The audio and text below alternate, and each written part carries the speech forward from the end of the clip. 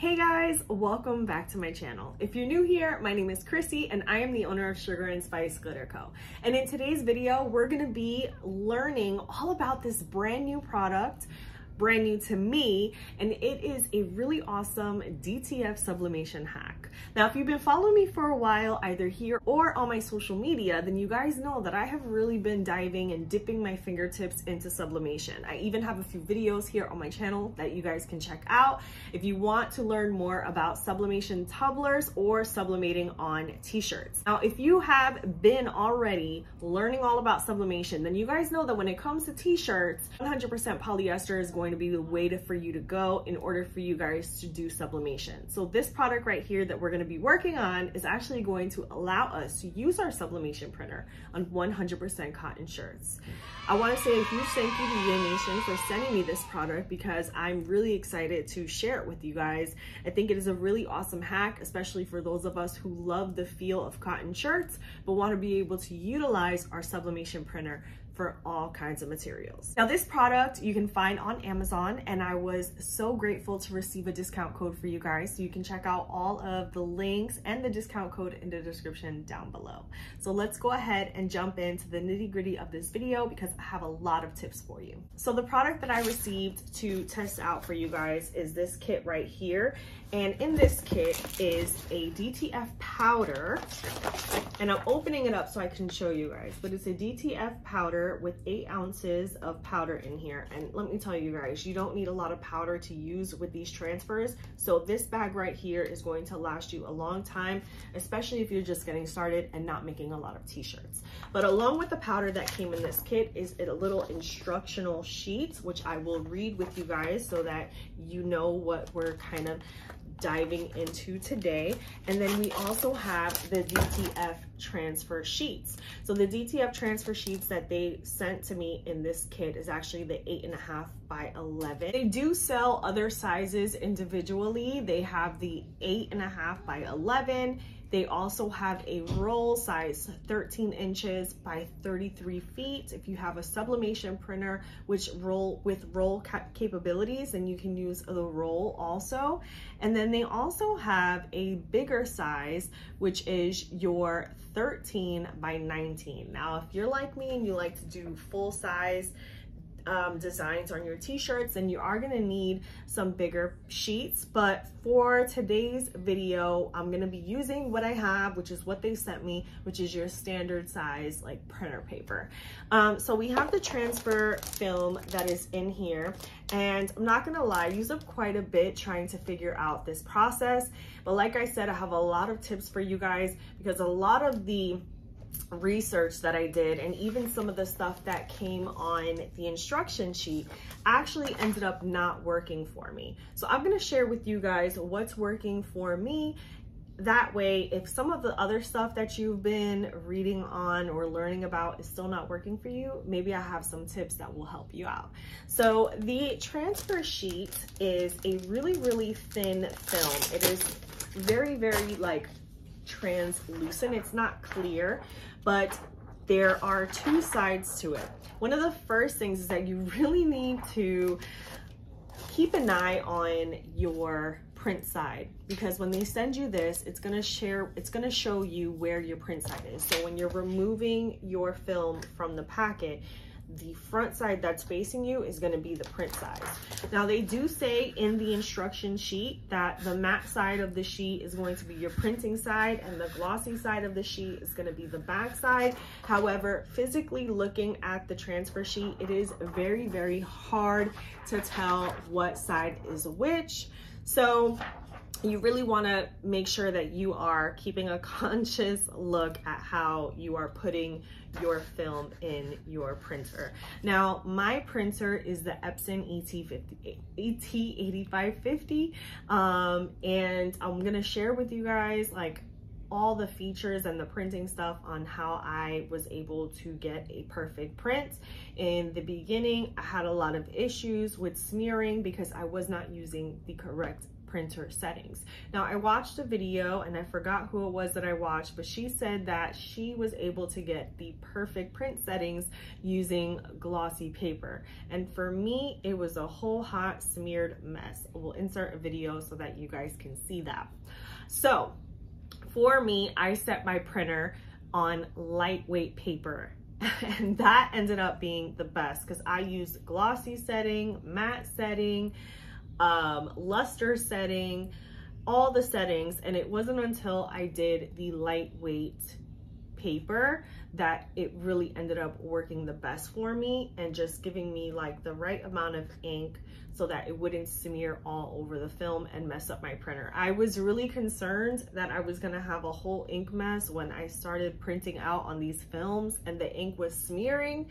And you know, we don't need that. We have expensive stuff, we have expensive ink, and the last thing we need is to have a whole mess on inside of our printer. So I wanted to share with you guys like my experience, the good and the bad, because I'm gonna sit down and give you a product review and I don't wanna glorify the product if there are certain things that didn't work and I had to kind of play around to find out what did work. So you guys are gonna hear what worked for me, what didn't work for me. We're gonna navigate this together. And I'm really excited though, because I think that this is a really cool product and again, if you're doing sublimation, but you want more options like sublimating on cotton shirts, then this is gonna be a, a, cool hack. But there is a learning process to this. Like it's going to take a lot of trial and error to figure out what's working best for you. So you may end up going through a few films before you figure out the best setting. I actually went through like six sheets. And so it was kind of like, ah, whenever I had to throw away a sheet, but we finally got it and I'm really excited to share. So let's go ahead and dive in and get started. I know I feel like I'm talking a lot, but this is a review video and I really want you guys to kind of understand the whole entire process.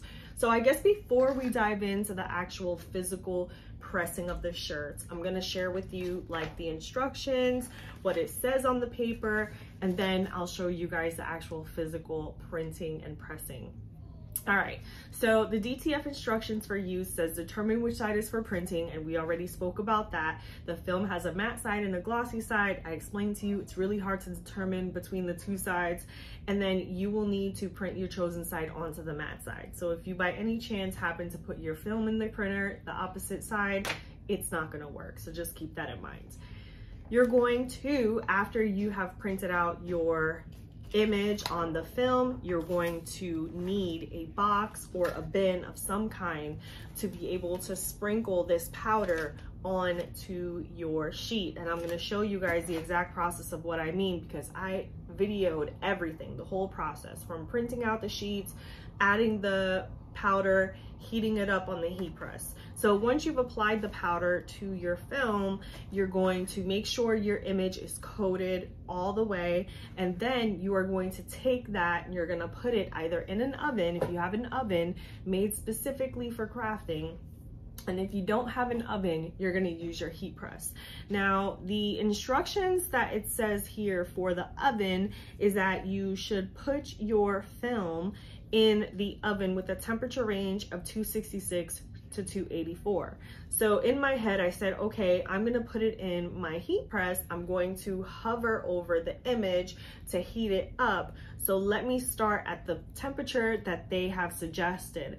And that was just way too light. I ended up having to put the degrees up to 400 degrees. You'll see that later on and hover it and turn the image around to be able to really get that powder to melt because that powder is going to melt onto the image and that is what's going to allow your image to um, press onto the shirt okay? So i'm gonna show you the process. I'll talk more about it. But basically after you've done that and you've melted the powder onto the the design, and I know it sounds like a lot, but bear with me. Once you've done that, then you are going to press it onto your shirt for 10 to 15 seconds. You're going to remove the shirt from the press, but you are not going to peel right away. You are going to let it cool down. This is a cold peel. We're gonna let it cool down and we are going to slowly peel the top off. All right, so let's go ahead. I wanted to just explain that to you and then I'll talk through all of my trial and error stuff as we dive into the actual process. So let's get started. As I stated earlier in this video, I started off with the temperature being around 306, which is the recommended temperature on the instructional sheet, but that ended up being a little bit too light for me, so I upped my temperature to 400 and that really ended up working great. Now because I do have a clamshell press, I had to turn the sheet around to get even heated temperature to be able to get that powder to really melt. You'll see that a little bit later on. But one other thing I wanted to point out is that I initially had the film printing from the bottom uh, compartment of my printer, but I was getting a lot of smears. Um, I shared that to you earlier in the video as well. So I ended up putting the film on the top of my sheet. I thought, you know, it's probably has less movement coming straight from the top of my printer. So let's put the film straight up in my printer from the top and see if that works. And that ended up being the best thing that I could have done. So do keep in mind that if you have a printer that only allows you to print from the bottom compartment, you may have some smearing and maybe that is the issue. For me, being able to just put the film on the top through the top of the printer, that really ended up helping a lot when it came to printing out my film. So once your design is all printed out, it is time to add the powder. So I'm going to move over to the table and I'm going to show you guys how to apply the powder on top of the design. So once you have your design, again, we're going to go and you're going to have like a little bin or something. I had like this cardboard box that I was like, you know what, this could work. You can see I already have powder in there from um, some of my practices, but I'm just going to go ahead and take that envelope of powder and I'm just going to sprinkle it all over the film and the design. Now, once I got enough powder to cover the entire image, I'm going to just pick up that film and I'm going to make sure that the entire image is covered with this powder. You want to see that all of the powder has coated that design and it'll be quite noticeable because your design on the back will be frosted. You want to make sure you dust off all of that excess powder. You don't want any powder on there, so just dust it off. But wherever there isn't the actual design, it will just come right off. Now that we're done with that part, I've already placed my design into my press. All right, I'm gonna hover over because I have a clamshell press and so it's a little bit difficult to heat it all the way around, but you can see how I'm just holding it and I'm looking through to make sure that I don't actually touch the design with the heat press because then that powder is gonna get stuck to your heat press. So just be very careful. Make sure you are keeping a close eye on how that powder is melting on there. Now for this design, I didn't give you guys a close-up look, but I'm gonna be doing a second shirt and we're gonna give you a close-up at how the powder actually melts. So you'll be able to see. When you initially put that powder on the design, it's like a white frosted, but once it melts, you can see the vibrancy of the colors showing through. And that's how you know that the powder is nicely melted and fused onto that design. Once the powder is completely fused to the design, I'm going to put that to the side and I'm going to readjust my temperature down from 400 to 365 degrees Fahrenheit. I'm putting the temperature down because you don't want the temperature to be too hot. Make sure you are looking at the instruction on the sheet that comes with the kit. In my opinion, the temperature was just a little bit too low, so I set it to 365 and that ended up working well for me. I also am going to press this with firm pressure for 15 seconds. So once I've preheated my shirt, I'm going to align my design with the shirt and then we're going to go ahead and press it on firm pressure for 15 seconds.